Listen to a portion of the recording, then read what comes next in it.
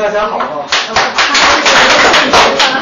谢谢，今天很高兴 Michael 邀请呃，能够有这个机会来跟大家呃，就是介绍一下这个商业贷款的一个呃情况。然后我先自我介绍一下哈，呃，我叫呃，我姓陈，我叫中文叫陈冠宇，那我英文名字叫 Kent，那我现在是德盛金融的执行长。那我在呃美国房地产这个领域大概将近十几年，然后呃主要都是一直做呃房地产投资发的，所以我今天很高兴有这个机会来跟各位呃介绍一下目前呃房地产市场的情况，还有就是说有关于商业不动产投资部分，因为我想大家考房地产经济主要目的就是做房地产交易嘛，那很多客人除了买住宅房地产之外，那如果你今天有些客人他是比较有财力的，他就会想到美国买商业不动产。那商业不动产的特性跟住宅房地产的特性又有点不一样。那我今天有机会的话跟大家说明一下。那呃，所以基本上就是说，呃，我一直觉得啊，在房地产交易当中，呃，房地产经济跟贷款啊这一方面呢，事实上是房地产这个市场的两条腿啊，就是说缺彼此都不行。就是说，如果呃房地产贷款呢，如果没有房地产经济的话呢，基本上他们就没有收益来源。那房地产经济呢，如果没有贷款的协助的话呢，基本上很多交易呢就推动不下去。所以事实上，很多房地产经济呢，事实上是会跟我们合作的。那很多时候我们是互相一个搭配性质。为什么？因为很多时候你的客人要买房地产的时候，他需要融资，但是呢，呃，为了个人隐私方面呢，他又不太会跟房地产经纪讲他目前真实的财力的情况，或者是真实的需求。那有时候呢，这时候呢，就必须要房地贷款的经济出来，呃，跟客人谈，然后呢，把客人的需求做一个彻底的了解，然后做一个呃好的一个规划之后呢，然后把这个讯息回馈给房地产经纪，那房地产经纪再去跟呃客人找物件的时候，或者找这个适合的案子的时候，就比较清楚哪一个方向，才不会白费力气。好，那我话不多说，那我就直接开始今天呃我的讲题，因为我特地为了 Michael 的邀请。花了很多时间准备今天的演讲，希望今天会对大家帮助。好，那我现在大家介绍一下我们公司哈。那我们公司就说，啊，我们在刚刚我说的，就是我们在这个金融方面的领域呢，呃，涉涉及非常广泛，所以我们啊了解各个大大大小小银行的规范。那很多我们台湾话叫 mega，就是很多这种诀窍是一般外人不知道的。有时候呢，银行也不方便去跟客户直接沟通。那都要通过我们呢来来间接的跟客人啊做一个沟通的工作。那我们的价值就是说，我们在做整个这个房地产的这个呃筛选项目上面呢，还有整个财务的分析上面呢，可以给帮助客人做一个很好的一个呃建议，还有一个分析，那避免让客人呢就是在看案子的时候等于多了一道把关的程序这就是呃贷款或找银行融资最大对客人来讲一个旅行的一个最大的好处。那。待会儿我再讲。那我今天几个主题哈，第一个主题就是我先大概介绍一下整个全球大环境，然后呢，呃，就讲完经济环境之后，我再讲美国的一个市场，美国的市场情况，然后当然也会讲到我们加州的情况，然后最后来讲一下目前为什么这个市场的方向还有位置在哪里。那将来呢，呃，投资人或者要买房地产的呃人呃那个投资者来讲，他还有没有什么其他的机会？机会何在？那最后我们讲到一些商业不动产融资的一个策略。那我们常常说有本书叫《地球是平的》，这很很久以前一本畅销书嘛。那事实上，我就用这张图来解释一下现在全球经济的一个情况。这个基本上也是一张图，就是地球是平的。那这张图就是解释说，在各大洋洲呃主要地区呢，目前各个地区的经济的情况。大家从这个数字呃，从这个图片上看出来，颜色越深的表示它的经济成长状况越好。那颜色越浅的，甚至说它就表示经济是处于体制不前的情况。那在这个图上面呢，大家可以看到呢，你看如果像欧洲还有像俄罗斯这部分，它颜色是最淡的，有没有？大概呃大概是百分之一左右，GDP 大概百分之一，事实上是不到的。哦，今年这个后来也有修正这个数字。然后呢，浅绿色的部分呢，大概是维持在二到四之间。啊，这部分呢以南美洲跟南北美洲啊，还有那个北非这个地方为主。那深色部分呢，就是经济成长状况比较好的，所以你刚刚看到就是亚洲地区，像像那个呃亚洲地区当日本除外，日本的经济成长率是最低的。那亚洲地区现在面临到什么问题呢？事实上，亚洲地区是下下滑的。以前呢，大家都是保八嘛，那今年保八也保不了，保七，保六点七。所以其实在中国来讲呢，目前来讲很多经济活动事实上是停滞不前的。所以很多时候相对来讲，啊，它的整个整个投资风险相对反而比较大。那反而看起来现在全世界最好的一个比较稳健的地方，反而是属于在浅绿色的地方。那浅绿色的地方呢，以以以这个全球分布来讲呢，最要最佳的投资选择当然就在在美国。为什么？因为美国现在是世界第一大的经济体，然后经济这么大经济体维持在百分之三三点五之间的经济成长率来讲的话，是相对。良好，非常好的一个情况，非常健康的情况。所以，如果以一张图来告诉各位来一个全球的一个投资选择方向来讲的话，那如果投资人来讲，如果他本身资产是在亚洲的话，他第一个想法就是说，那我把我的资产移到别的地方去，我要做一个风险分散，我要到哪个地方去？他首选就是美国。那这部分的话，在很多呃顾问公司的报告当中都指出来，就是美国现在是呃世界投资人的唯一呃就最佳的首选。然后在零五年到零六年之内呢，其实发生了很多大事情。那这些大事情呢，影响着牵动了整个投资人的这个思绪。发生哪些事情呢？我们看一下。第一个是中国股市暴跌。如果大家还有印象的话，二零一五年的时候，其实中国股市的时候有一阵子就是暴跌，而且在年初的时候有一个熔断机制出现的时候，又又暴跌过。那时候整个中国的股民平均他们说受受伤惨重嘛，很多人呃百万。就是一夕之间，他的百万资产完全就不见了。然后呢，这个部分呢，显示就我刚刚说的，就是中国股市啊，中国经济在做一个调整的动作。那之前因为钱没地方去，就到股市去。那股市的话，实际上呃是属于一个泡沫的状态。那第二个就是说，因为中国也是因为中国的关系，就是整个呃中国的需求就是呃就是等于说是衰退的关。那所以像原物料的价格啊，铜矿、铁矿。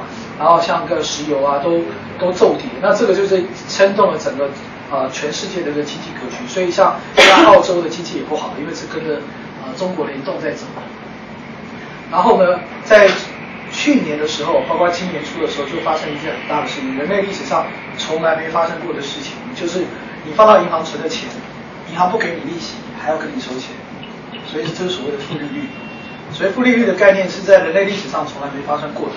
什么意思？大家以为钱值钱嘛？所以我们以前去银行存钱的时候，银行会给利息，对，大家就比哪个银行给利息高，我就把银行。现在不是的，现在是你去银行存钱，银行说我不给你利息钱，我还要给你收钱，收保管费。为什么？为什么会这个样子？是钞票印太多了，基本上就这么简单，就钞票印太多了。那这个表示，其实这个东西呢很重要。为什么？因为这个就跟房地产息息相关。待会我会再解释一下。然后呢，反而全世界呢，全世界唯一的国家开始升息是只有美国，在去年年底的时候第一次升息，今年的时候应该还会再升息一次。最近最近那个呃叶伦有讲话嘛，所以昨天利息涨蛮高的。那为什么美国敢升息？好，这当然跟美国的货币政策有关，但是最主要一个地方是美国经济情况现在是真的属于一个温和向上，甚至朝向有点过热的情况，所以它美国。来讲，它不升息，其实为它自己本身的国家利益来讲，它必须要有一个升息的动作，然后才不会造成这个呃后续的这个所谓的通货膨胀的问题。然后另外一部分就是大家也没有注意过的一个现象，就是二零一五年十二月十八号，奥巴马宣布解禁美国石油出口禁令，这个是从来在呃冷战之后四十年，美国呃冷战开始，美国就禁止石油输出。大家也知道，美国其实是本身有产油。但是呢，在二零一五年十二月十八号的时候，总统说，我现在解禁美国的石油、石油跟天然气可以正式出口。最近行政消息，那个天然气已经开始从那个呃巴拿马运河拓宽了嘛？那第一第一艘运河从那个墨西哥湾通到卖到亚洲去，这个又为什么？这就是一个全球大格局的事情，这个很重要。为什么？因为待会我会大概跟各位解释一下这个部分有多重要。因为呃，美国这部分呢，以以前美国。的国家政策跟美国的这个呃这个资源分配，事实上都是围绕着石油，所以大家可以看到什么伊拉克战争啊，什么波斯湾战争啊，全部都是国力动员来维护它的石油利益。现在美国自己出放开放石油出口，那为什么？因为美国现在自己可以采用，美国已经取代俄罗斯成为全世界最大天然气生产国，大家知道吗？在今年的时候，二零一七年的时候，原来世界上最大产油国是沙特阿拉伯，今年二零一七年的时候，美国是全世界最大的产油。美国是最大的产油国，什么意思？因为美国有一个油页岩革命，大家都知道，页岩革命。那美国自己用页岩革命之后，它的产量事实上已经超过了中东国家。所以大家如果注意的话，其实美国现在不太管中东的事情，中东乱就让它乱，它不去管。为什么？因为跟它没关了嘛。那这是有等到它开放石油出口，那其实美国某种程度来讲，事实上是它现在是等于说在在在自己家后院挖到石油这个宝宝藏的话，事实上对美国有一个很大的一个优势啊，这个这个也蛮重要的。然后在二零一六年，大家也看到那个英国脱欧嘛，就是脱了欧之后，大家全世界就一阵喧哗，然后然后那一阵子，那这个都有影响的。为什么？因为一旦英国脱欧之后，本来的格局就是很多钱会进英国，然后再转到欧盟去。那等到脱欧之后，英国跟欧盟基本上是就是说等于说分家了，男朋友分手了。所以这时候呢，其实大家就会不看好欧盟的未来发展。那很多时候，为什么刚刚我说欧洲的负利率，很多投资人现在不敢投欧洲，因为有难民问题、政治问题。所以这种情况之下，其实钱会到哪去？大家大家动动脑筋都可以猜得出来。然后呢，最后就是我们刚刚说的，大家现在十一月，不管谁当选，这个口号一定是每个当选的投呃总统候选人，他为了当选，一定会有这样的一个方向，就是说为了要把中产阶级找回来，为了要提升美国经国内经济。他一定势力财务采用一些保护政策，不管哪哪一党的候选人当选都会有。那我们来看一下，从二零零六年到一六年这十年发生了什么事？大家在美国如果待超过十年以上的话，一定经历过这一波很很大的动荡，就是这个所谓的 surprise，就是呃呃房贷次贷危机造成的金融风暴。那时候倒了好多大的金融机构，雷曼兄弟啊，花旗 Mutual 啊。然后想抢出来玩 Kobe 啊，这些大家以前都知道的这种大的银行都倒闭。倒闭之后呢，美国事实上进入一段修身养息的时间，所以当时推推出了很多的呃呃，就是首次的这种货币政策啊，什么宽松政策啊，降利息啊。大家还如果还记得，二零二零一一年，如果你在美国加州买房子的话，买第一套房的话，政府还给你八千块的退税，八千啊六千啊都有。当时就是为了救房市。所以当时大家可以看出来，二零零八年的时候，整个美国的 GDP 是严重往下掉的，有没有？最最糟的那一季的时候还掉了百分之八。可是呢，自从这个美国大量印钞票之后，整个美国经济就开始复苏，这是美国的优势，它可以开始印钞票。印钞票呢，不止刺激国内经济，然后呢，还会影响它国内的这个通货膨胀，因为这个美元会开始往外流嘛。所以这是美国的优势。那从二零零八年到现在呢，大家可以看出来，整个美国的经济是持续往上的。而且围到三到三点五左右，那这个是事实上是，就是现在我们大家知道的美国经济的情况。那另外一部分呢，就是要提到了，这个就是跟各位息息相关的房地产。房地产的时候，我们喜欢看是什么？像因为我个人是呃经济分析师嘛，我很喜欢用这个图表说话，而且喜欢用一个长期的图表说话。为什么？因为这个图表说用图表来看的时候，我们比较能够抓抓稳这个趋势。这个是什么？这是美国从一九六零一九六三年到现在，大概将近五十年的时间，它一个市场周期的一个循环图。好，什么循环图？就是一个新屋开工图。大家如果仔细看的话，呃，红色的区块是属于这个整体市场向上的，然后呢，绿色区块是属于向下跌的。大家如果看着这个图的话，你可以看得出来，事实上大家在说房地产是个周期，一个周期。这个表就非常的清楚，让他看到是不是一个周期，很明确，有上有下。而且呢，大家在从这个表格上面看的时候呢，会发现一个趋势，就是说这个周期呢，相对的慢慢拉长，有没有？从一九六三年到二零一二年的时候呢，早期一九六三年到一九一九七七七零年代的时候，它的周期是属于比较短的。可是从一九七七年到一九八四年到一九九一年到二零零五年的时候，你看最长的一九九一年到二零年，事实上这个大多头走了整整将近十四年的期间。那这是为什么？因为跟全球化经济有关，就是美国的经济跟全球化绑走在一起，它不再是一个区域性的活动的时候，会有这样的趋势。那如果这个趋势是一个真实的情况，那我们来想象一下，现在房地产是属于什么样的情况？我刚刚说了，二零一零年大概是一个房地产市场的美国房地产的一个 bottom line，大概是谷底左右，一零年到一二年之间。所以那时候很多人进场，不管你什么时候买什么房子，到现在一定赚钱，基本上没有不赚钱的。只要你敢进场，一零年进场，一二年到现在一定是赚钱。那我们来如果看一下，一五年到一二年大概七年的时间，就整个一个下滑修正的过程当中，从一二年开始，其他房地产开始回升。那如果过去的经验告诉我们是一个事实的话，我们可以预测未来的话，大家想一下，一二年往后走，你们觉得还会有几年往上走的时间呢？四年。几年？四年。四年，四年嘛。上面那上面那一期是四年的。四年。八十年加七年，十年到十左右。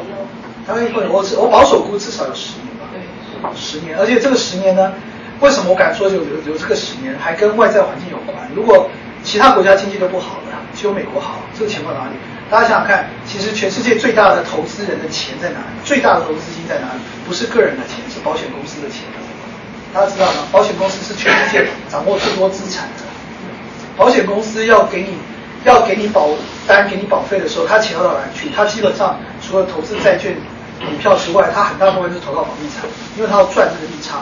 如果今天保险公司的钱发到日本银行去，放到欧洲银行去，是我赚不到利差，我还要贴给他管理保管费的话，保险公司会把钱往这个地方摆吗？不会吧？所以保险公司会到哪里来？保险公司到美国来投资房地产。这个是我个人预测，就是说，事实上美国在未来可能还会有，如果没有发生特别的意外状况的话，美国还会有一个迎来一波很大的一个房地产多头的情况，因为整个外在环境还有这个趋势啊。然后，那我们来看一下，来验证我这边说的，就是说这边分这张图呢是追踪，呃，从二零一零年开始的海外买家来美国买不动产的一个投资的表格。然后第一名是谁？第一名是加拿大，因为离我们最近。而且加拿大人喜欢到美国来买房，因为交通方便嘛，气候也好。那加拿大呢？事实上，你看哦，它一直占这个市场的比例，它从二零一零年起，它从百分之二十三左右。那另外一部分成长比较快的是什么？第二名中国，中国其实成长的非常快，而且是短短大概在呃五到六年之间，它的速度非常快。中国的投资人来美国收购房地产的情况，所以呢，事实上。此消彼长，所以事实上，现在中国的购买力相对比加拿大的买家的购买力来的更强。虽然整个数字还没比加拿大来的高，但是呢，个别的购买力呢，事实上是比加拿大来的强。加拿大买就是可能买二三十万，而中国人买就是五六十万甚至上百万。那这个如果是用比例来看，我们可以看到这个趋势。那如果用数字来看的话，我们就更明显。你看啊，二零一九年的时候，他们统计说中国来美国买房子的，二零一九年嘛，大概是七年前。还是是啊，都是四十一亿美金，可是到二零一五年的时候是两百八十六亿美金，哦，整整成长了将近大概七倍，哦，当然这个数字是官方统计数字，实际上数字应该比这还要多，因为很多国内来的人是用现金买房的，那时候就没有在这个统计数字。那这个是一个情况哈，就我刚刚验证了我刚刚说的，是说很多人来美国房地产市场抄底。那这部分呢，我刚刚就提到刚刚说的负利率的情况，负利率就是从二零零一五年的时候正式。就是你如果看的话，像呃全世界的公债，好像据说是百分之十五到二十的利率是负的，就是这个是从来没有发生过的现象。就是说，那这是什么意思呢？很简单，为什么会负利率？负利率的意思就是说，他要希望你不要把钱存银行，你要拿钱去消费。为什么？主要目的是要刺激经济，这是杀手锏。因为已经是中央银行没有其他办法了，他只能用这个方法。让你说你不要存银行，你要拿去消费。但是呢，如果站在一个真正投资人角度来讲的话呢，我不拿去投资是因为我觉得风险很大，赚不到钱。然后呢，你即使你给我负利率，那我也不会因为这样的关系我拿去投资。所以事实上，负利率的效果呢，事实上不会想象比他们来的好，反而呢，银行会受到很大的伤害，因为银行的银银行的存户都跑光了。然后呢，银行有时候有些银行不愿意转嫁到客人身上，他自己消化。那这种情况之下呢，我刚刚说市场对央行刺激经济跟调节金融能力的信心会丧失掉。那这是在很多国家都会发生的情况。那大家就会看到很多热钱就开始又开始乱乱乱乱窜，只要哪个地方有有有机会，哪个地方比较安全，就会往地方窜。所以现在我都要跟你讲说，其实现在股市，我个人觉得是风险相对较高。为什么？因为那就是因为钱没地方去，都跑到股市来。现在就表示美国经济就是那个是有点 over 的部分。然后呢，我们再讲讲到，好，那现在讲到一个全球大环境完了之后，我们来回过来看美国的情况。我刚刚提过了，说美国现在经济好，是因为美国有一些美国有一些天呃它本身的优势，比方说它可以大量的印钞票，然后呢可以推动这个货币政策，然后又不会伤害，不会造成它自己的呃就是反作用不会太大的情况之下呢，美国成功的推动了三次的所谓的货币宽松政策，拉抬了股市，拉抬了股市之后呢，自然的带动了整个经济的复苏。那在这种情况之下呢，我们看到的失业率就是下跌，而且现在大家说，呃，普遍来讲，美国现在失业率大概是在百分之五到五点五左右。那五到五点五最高的时候是到十，然后现在五点五，你就觉得啊，只跌一半。可是呢，我跟各位讲，百分之五是一个自然的失业状态，因为有人会自然的换工作嘛，你不可能所有人都在工作岗位上不换工作，所以百分之五是最自然的情况，就是一个健康的经济环境当中，百分之五是自然的。就自然就好像有人搬房子一样，自然会有。所以这个情况就表示说，美国现在的就业率市场是非常好的。一旦就业市场好的时候，呃，上礼拜的消息就是经济学家提过眼镜，说美国的这个新屋销售率是六十二万户，本来预估是五十八万户，多了四万户。这些人哪现在去买新房子？都是那些找到工作的人，第一次买房的买买家，他们现在进场买房子。所以这是一个市场的一个趋势，一个机会。那呃，我顺便提一下，如果要买房子的话，甚至像百分之五的头款，华人不喜欢用 FHA 嘛，因为我们也不建议用 FHA。说政府补助，我我们也有类似的，但是是民间版的，五 percent 头款，你 first time buyer 就可以买房了。所以其实是蛮好的，就是说在这种情况之下，呃，就是说房地产市场就为什么大家看起来现在大家都要抢房，也抢抢新房，所以现在很多建商又又纷纷推新房出来。然后呢，第二个往往说油页革命嘛，成为美国能源市场大。刚刚我已经解释过了，这个影响就是说怎么说？也就是说，美国的能源价格现在是全世界最低的。在这种情况之下，美国有又有一个很大的一个竞争力出来，包括呢，它在工业方面呢，啊，这部分呢，我我是会稍微提一下，就是说我在我在呃大概年初的时候，我那时候跟跟我的我也是做一场演讲，然后那时候呢，我跟呃我台下的观众说。你们相不相信美国的制造业会回来？然后呢，呃，底下人呢没有人相信，因为都是从中国来的。他们想，中国的制造业那么发达，美国这边人工又贵，环境又差，怎么可能制造业回到美国来呢？结果一个月之后，那个有一家呃呃四大会计公司叫德呃德勤会计公司发表了一篇呃研究报告，访问了全世界四千多家的制造业者的老板。然后做一个统计，说目前全世界排行制造业排名当中，呃，全世界的排名是什么？第一名是谁？中国。美国是第几名？第七名。第七名还是第四名？可是呢，在二零二零年的时候，谁是第一名？美国。中国排到第二名。他们说为什么？他说因为很多生产科技，他们中国的制造业的成本已经开始贵了。第二个说现在讲究的所谓的自动化工业四点零。然后很多东西自动生产，我不知道大家有没有在微信上看过一个那个呃，Tes Tesla 工厂生产汽车的那个影片，知道，看到吗？基本上没人的，嗯没什么人的。他们所以这个东西不是说只是一个预测，而是他们去做的产业的实际的调查，说美国的制造业将来竞争力是全世界第一。那这个是其实蛮，连我自己都有点，虽然我是预测是这样，可是我自己是蛮。蛮有点意外，是说这个是得到这个认可的一个一个趋势啊，这个大家再讲一下。那这个是美国的一个优势。那我刚刚说，当房地产回升，法拍屋数量骤减，这个大家应该有一点感觉，就是以前很多人去抢法拍屋、抢 show sale，现在你基本上市场上你看不到这个东西了，基本上没有。你有看到有，也是被人家抢的或者是假的。然后呢，还有一个很重要的东西就是，很多人做房地产投资的时候，我会跟他提，这个也是很多人。就是年初的时候一个消息，就是二零一六年的时候呢，美国有十四州啊正式立法通过说要调涨最低工资。大家知道我们加州现在的最低工资现在多少钱吗？十块半。哎，对对对对，Michael 很清楚，十块半。听到听到。十块半，十块半算很高了，你知道吗？内华达州好像还没到嘛，九块多嘛，九块五嘛。加州已经算很高了，华盛顿那边也是十块半，纽约也是十块半。那今年是二零一六年，对不对？你知道二零二零年的时候十块半会多少变到多少钱吗？十五。好，有人知道十五十五。十五块，十块半到十五块，增长是不是将近五成？每年至少调十趴嘛。到二零，今明年就一七年了，一八一九二零，什么意思呢？就是说，当然对对那种领最低工资的人来讲很高兴啊，可是对我来讲，其实我们知道这个经济学的很简单嘛，你调最低工资，你你你觉得你的钱就赚那么多吗？其他物价不会涨吗？会涨嘛？只是很多人没有，美国人比较没有数字概念，他就觉得好像有有种成语叫朝三暮四，对吧？大家有听过那个那个给一个给一个猴子，早上给你三颗栗子，下午给你四颗栗子，然后呢说哦，然后反过来说早上给你四颗，下午给三颗，就猴子就很高兴。我觉得是同样的道理，一样的，扛不出来羊身上来，十块钱十块半挣到十五块，你以为你就 better off 吗？没有，因为所有东西都跟老老板的成本贵了。你便当可能一个是七块钱、八块钱吗？不可能嘛，一定是十块钱、十块、十块，老板也要生存嘛。可是呢，这个已经是已经是板上钉钉的哈。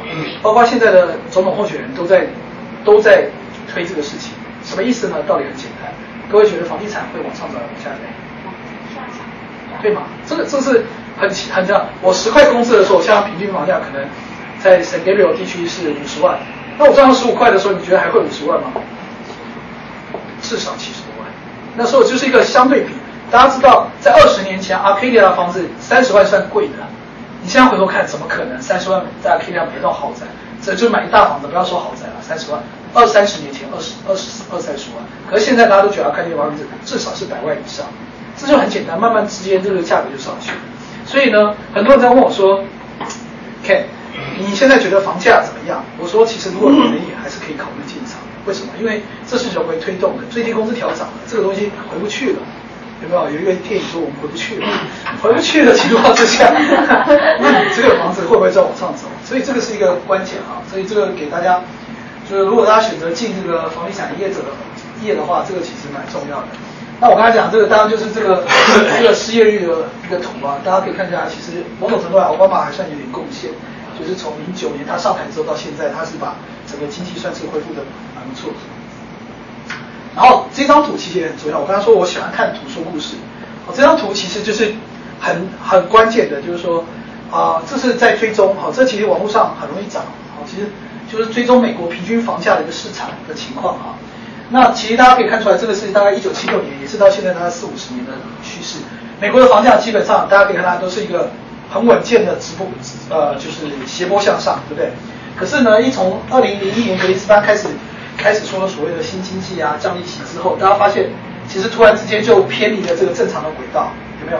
所以如果我们我们中间画，大家有把尺自己在家里量的话，就会画到画到这个东地方的时候，你会发现从二零零一年开始，这个这个轨道开始偏离，所以这是很简单，所谓的 bubble 出现了。Bubble 到什么时候破灭呢？就是零六零七年的时候开始爆破，爆破之后就开始下跌，就是说很多东西都是违背不了这个自然的规律。下跌之后呢，其实那时候喋喋不休，没有人敢买房子。大家如果记得那时候的话，没有人敢碰房子。为什么？因为银行也不借钱，然后一下子听到谁谁谁破产谁。可是那时候我跟客人讲，我那时候在一零年跟客人讲说你可以买房，那时候还在，在一零年的时候，为什么很简单？我那时候就做一个很简单，我用纸画画到这个上面的时候，我发现这个时候已经是叠到线叠到那个长期趋势线，而且呢，大家如果看到图的上面来讲。有一个 double dipping，就是股票投资的时候有两两两个碰到底底部的情况，你两步碰到底的话，基本上发美是最低的，应该是这样？发美因为它收租的情况，所以它的利息是最低的，三点五、三点多到四点多，看你选多长，所以越长呢利息就越高。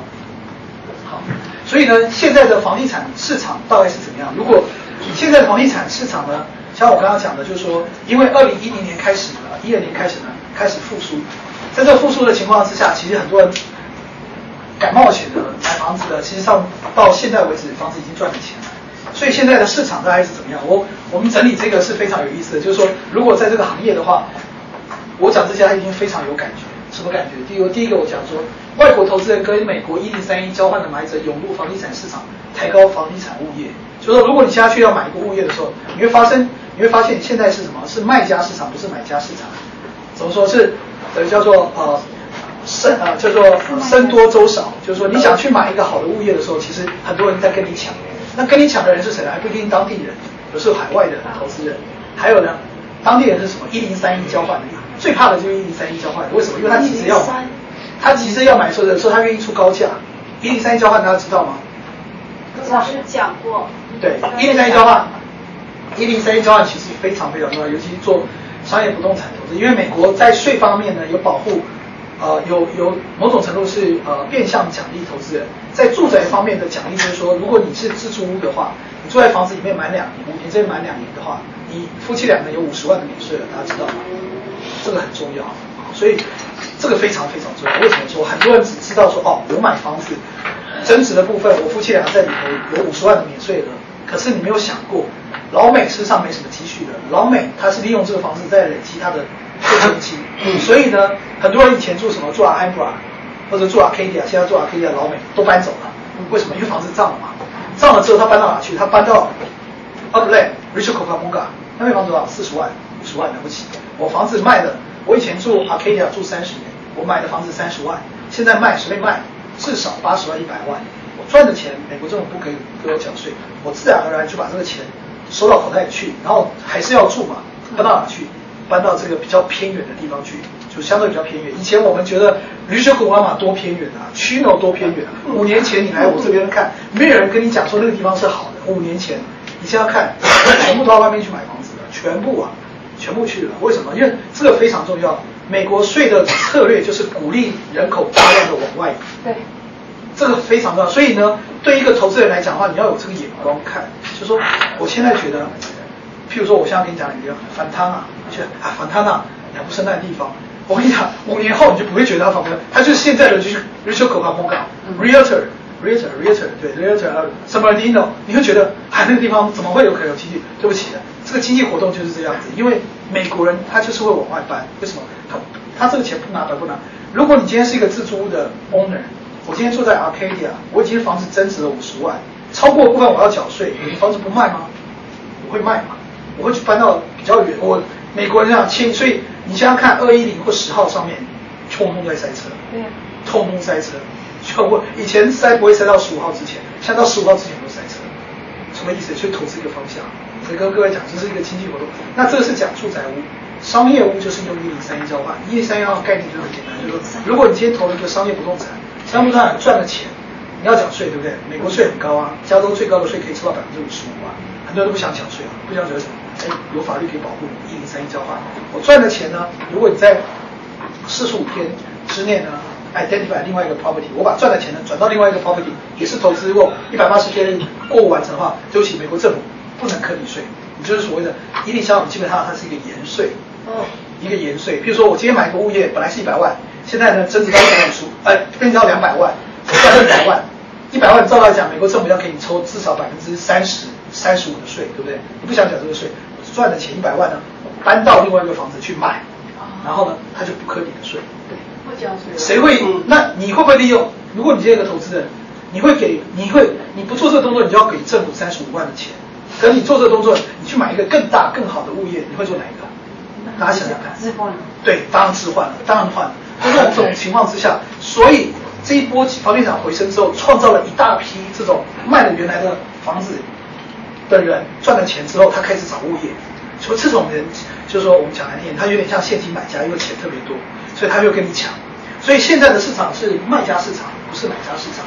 所以衍生出来一个东西，是说业主卖主允许你禁止调查时间缩短，因为你做商业楼买卖，你要很多东西要调查的啊，产权啊、租客啊，还有环保啊，很多问题的。像业主呢，以前我们没没有看过这个现象，几年前没看，现在是业主说，以前给你六十天禁止调查时间，现在都是三十天，然后呢，定金还不可以还，三十天之内没做这，我你要我你要我接受你 offer，都行，定金不能还，要就要，不要的对不起，你定价被没收。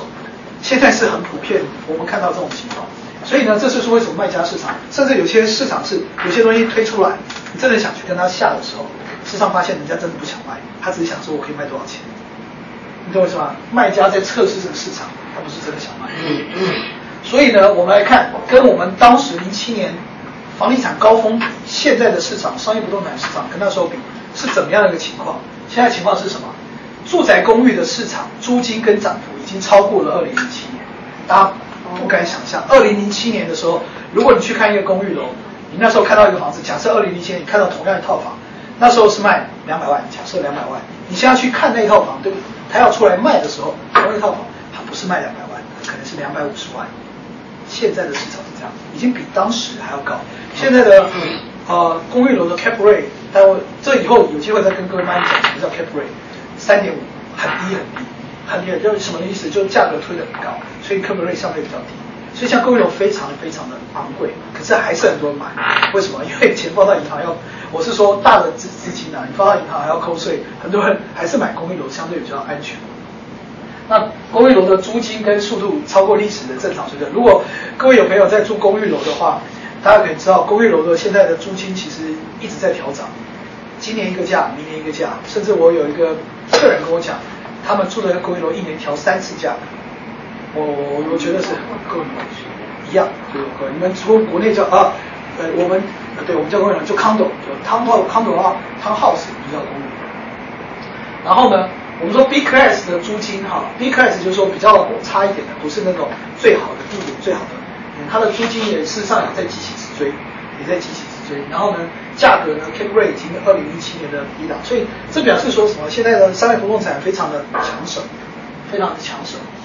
那我们现在看一下美国现在整个大环境的一个呃趋势哈，就是说，因为整个经济活动有一个周期哈，有所谓的，我们看一下哈，这是一个一个波浪嘛，就是说，我们简单让大家分作五个阶段哈，有一个复苏期，有一个扩张期，有一个平衡期，再一个是下滑期，最后一个是谷底期，就是任何经济、任何一个产业、任何一个市场都离不开这五个阶段。那事实上，投资人要看的时候，就是当然会选择说，我要这是一个周期，不可能是这个跳到这个又跳到这个，没有，就是一个周期。所以如果今天你要投资的话，当然我会希望从底部，当然底部会维持多久没人知道。所以事实上，真正比较聪明的投资人，他要开始从这个复苏期早期就进场，或者在扩张期，扩张期那等于说价格都会慢慢慢慢的往上走。那我们来看一下整个目前主要的在美国的投资的这个市场当中，区块当中，大概去位于那些市场位于哪些方面？我们看股票跟美国银行股跟股票，事实上是在高峰期。如果你们对照过去的美国，现在美国股市是创新高的，对，高新高的。那很多专家都在想说，这种东西维持不了太久，因为它有点像八宝。你如果去看那个那个什么股息啊，投资，但是现在还在往上走，为什么？因为都是全球钱没地方去，就来投资美国股市，相对的。但像这个东西就是比较风险比较高，因为在高峰的嘛。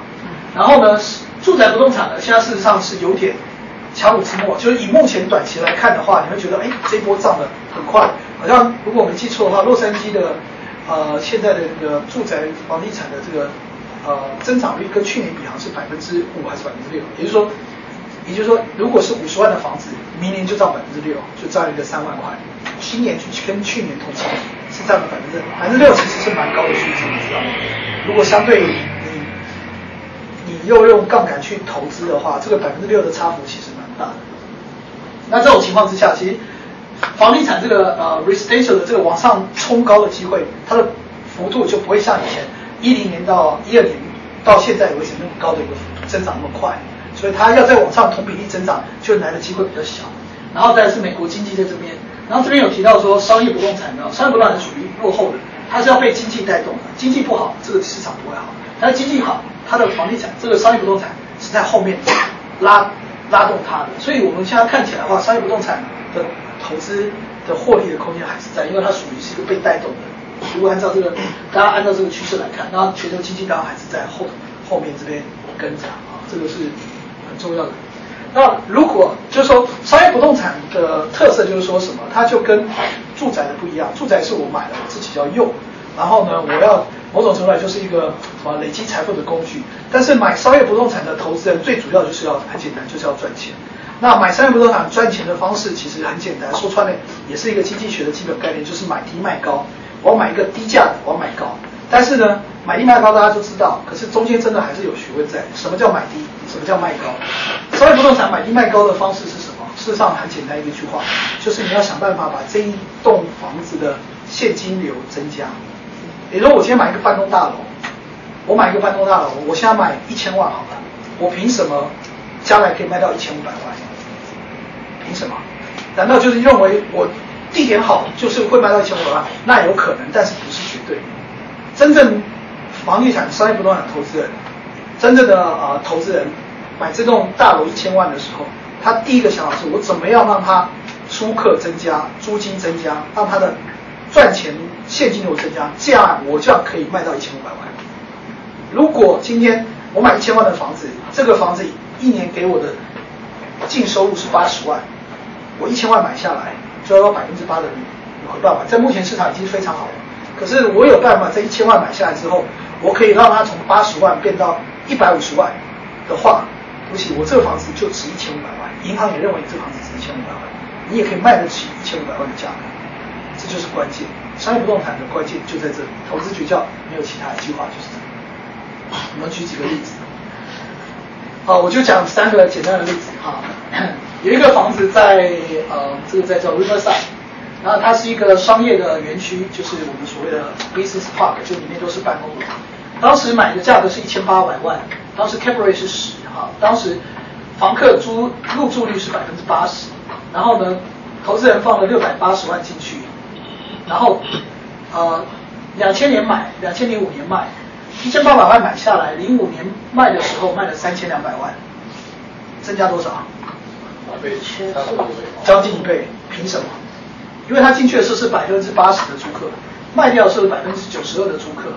然后呢，当时因为又市场利息又在跌，当时他买的时候是 cap rate 是十，后来卖掉的时候 cap rate 是四七点六，七点六，这到时候以后再跟大家讲，因为这 cap rate 的概念其实蛮重要的，有机会大家再跟大家解释一下，就是一些商业不动产的一些基本的一些一些呃一些呃公式啊，这个反正这个这个值越低，相对的你的那个房子的价值就越高。你看啊，在中间过程当中呢，客人就赚了多少钱？才五年的时间，一千八百万就卖掉三千两百万。我们再看另外一个一样哈，另外一个也是买价是一千五百五十万买的，当时买的时候呢，出租率只有百分之六十七，那客人呃投资人放的是七百万，卖掉的时候卖掉了六千六百五十万。嗯，为什么？因为它租租客率呢是跳到百分之八十九，每年每年它是啊、后多久啊？后五八年的，对，后三年。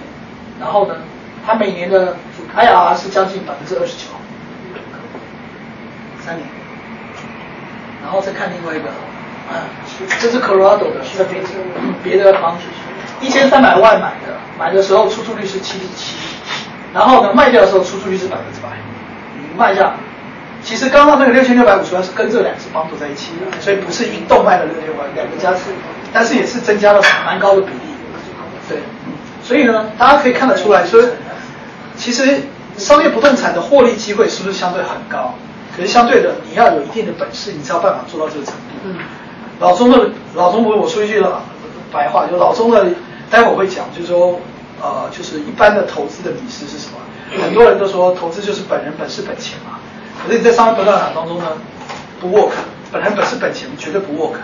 本人本事本钱就是说我本人要去看过那个房子，我本来要来亲自管，然后呢，我要用我自己的钱去买这个房子。是在这方面房地商业房地产当中呢，你这样的策略呢，你的机会自己把自己的门槛垫高了，反而呢你也找不到好的东西。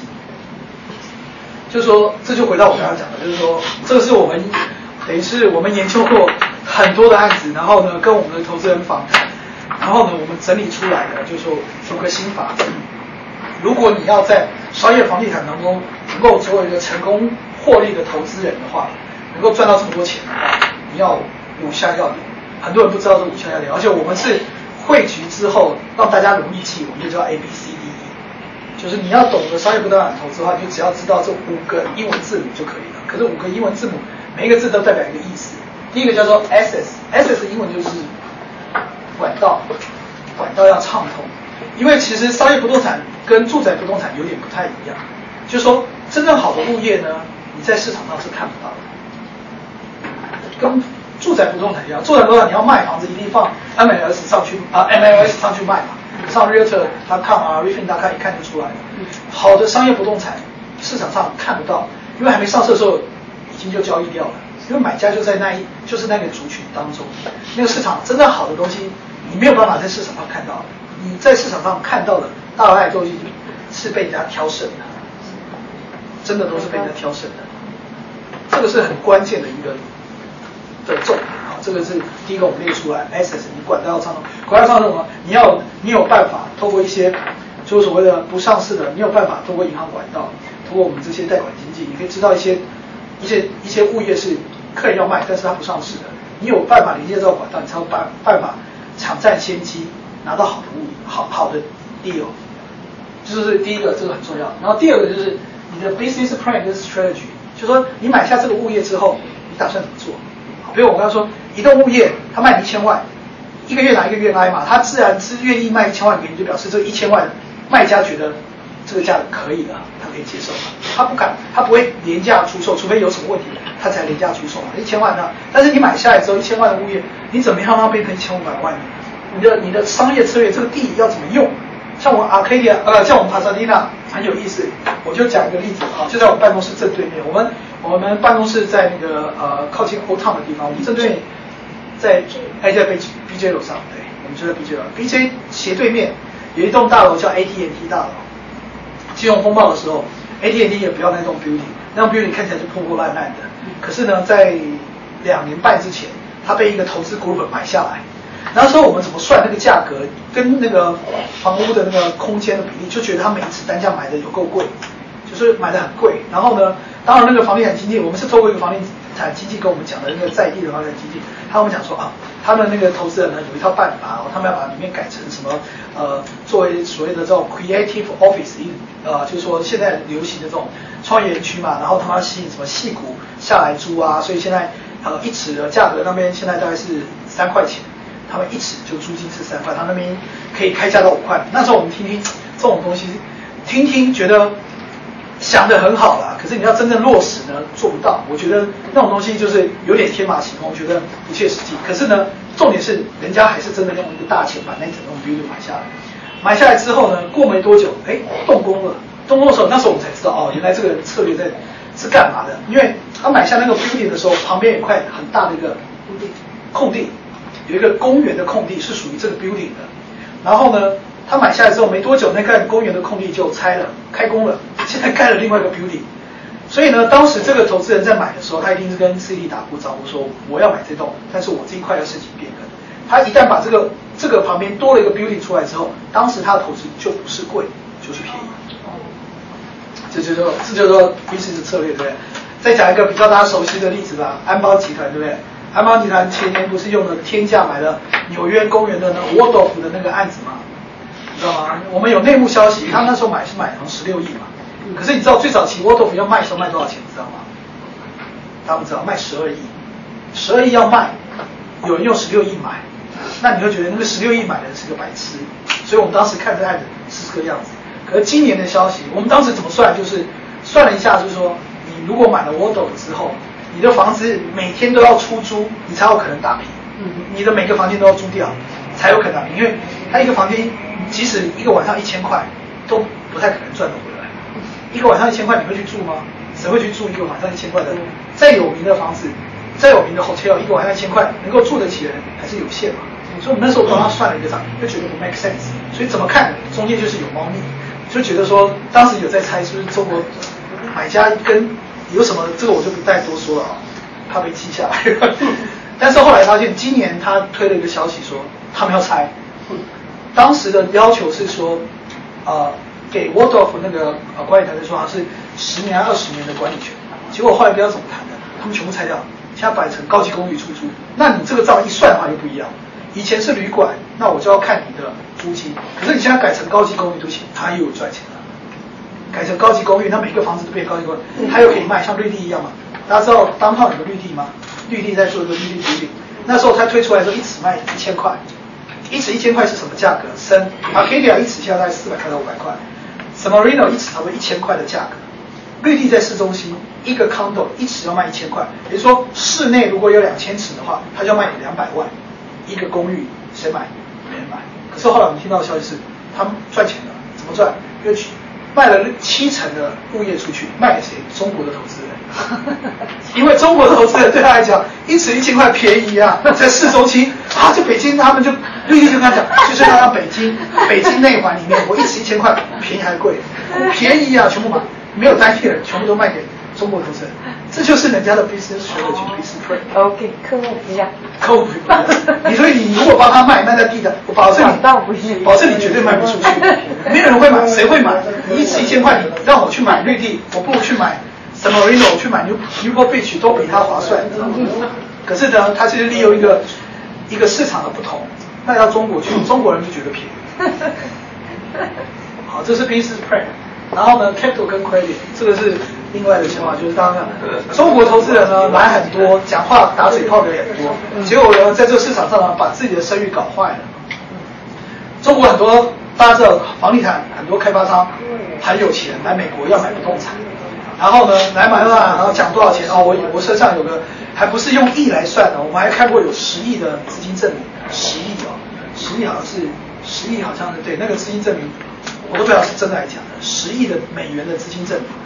但是呢，真正要他下单的时候呢，全部都不见了，全部都不见了。我完全就，所以呢，老美这些卖主呢都学乖了。所以今天呢，如果你今天是一个代表中国投资人说我要去买你这个物业，你跟他给他中国银行的资金证明，对不起，老外的买家没有人给你信的，没有一个给你信的，他会跟你要两个东西，对不起，你要给我银行的资金证明，我要你在美国的或者在瑞士的，在欧洲的，就是不要在中国银行。然后第二，我要你给我看你这你这个买家在美国买了哪些东西，我要去查，因 为为什么？老美很多人被骗怕了，他跟你觉得，哎，中国投资人很有钱呐、他跟你对哦，你有弄半天之后，后来哎一句话说我钱出不来，不买了，这玩人家嘛，那不是一次两次，玩很多次哦。所以其实上在这个市场上，人家说，那现在又有一种情况，人家说我宁可你给我我这个东西卖一千万，你出一千两百万，对不起，我还宁可卖给我一千万，我以前的我以前跟我合作多个客人，我还宁可用一千万卖给他，一千两百万，他不他不会因为你多出这个钱就就愿意跟你低了。现在市场有点变成这个样子，以中国买家来讲，因为我们说你的资本跟信誉要充足，不然的话，你有时候好的物业人家凭什么给你？人家不想给你。然后呢，第二个是 due diligence，就是商业尽职调查要专业彻底。商业不动产比较困难的跟住宅不动产，就是说它非常非常的复杂。